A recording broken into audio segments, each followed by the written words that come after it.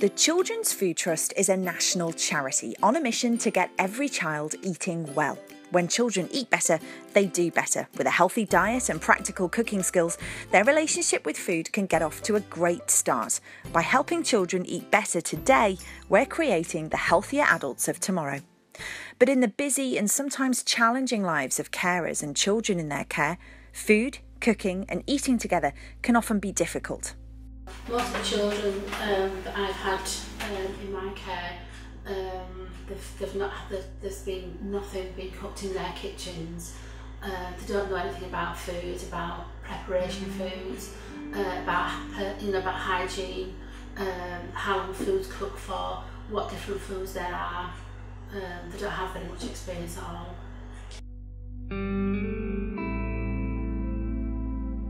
Some children in care have never experienced a home cooked family meal. They've never seen someone cook a meal from scratch, let alone cooked anything for themselves. We had one girl where, when she came into care, the very next day at tea time, and she sat down at the table with the foster carers and she had a knife and fork out and she said, right, who's who's going to order it then? And carers said, what, what? Who's going to phone up and order it then?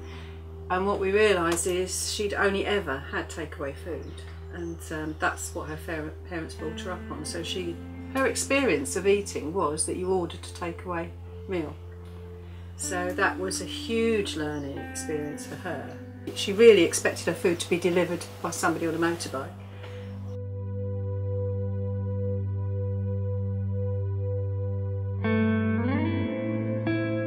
Carers tell us that for some children, Every day has been a battle just to find enough food to survive. They just always went to stick to what they know, which was crisps and biscuits. And anybody that did think that they were cooking for themselves would have been getting a slice of bread out and putting some crisps on it, and they think that that's, you know, it's survival, and so they've had to do what they've had to do to stay alive, or feed their younger siblings. You know, you've got to give someone a pat on the back because they've kept the younger siblings alive by giving them bread and crisps. But with the money you raise, the story can be so different. We're training carers to give them the skills and confidence to cook healthy meals with the children in their care. We're thrilled that you've chosen us as one of your charities of the year. With your help, children in care will have the chance to learn to cook. The skills they'll learn will boost confidence and self esteem and set them on the road to independence.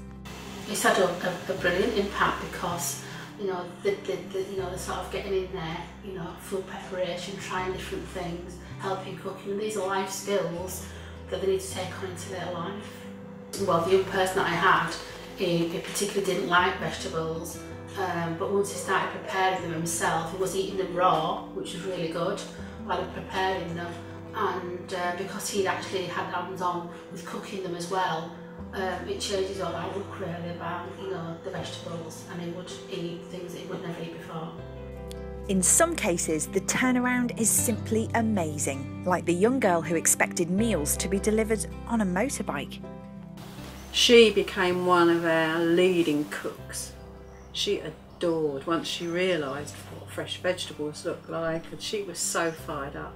And she actually ended up uh, leading a barbecue that we had. She was fantastic. When we first got to know her, she was nine. She's about 15, 16 now. Loves cooking, really loves cooking. Kobe was just one of the young people who was inspired to carry on cooking. It Wasn't a massive fan of cooking. I, I didn't really like doing it myself. But when I did done the Let's Get Cooking, I picked up my confidence of doing it. It's it's like a really big passion of mine now something I really enjoy doing. So I've been doing work experiences from it. Um, I've cooked like a roast dinner and that. I done like a, a like a full um, roast chicken. I cooked all like the vegetables like peas, carrots and potatoes and that all my own. It was like the first time I cooked for like my family and friends.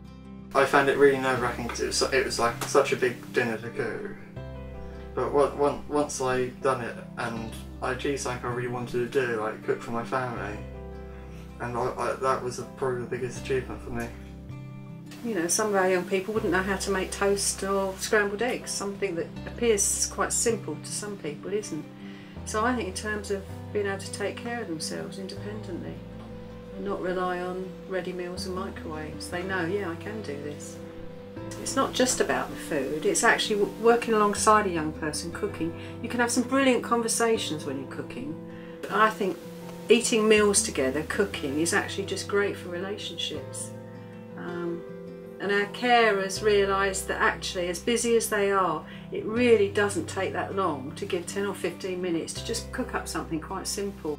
Cooking and eating a meal together is about so much more than just sharing food. Every day, we see children's lives transformed simply by spending time cooking with adults and other children. The social skills and confidence they develop through budgeting, planning, food shopping, and learning to cook will stay with them for the rest of their lives.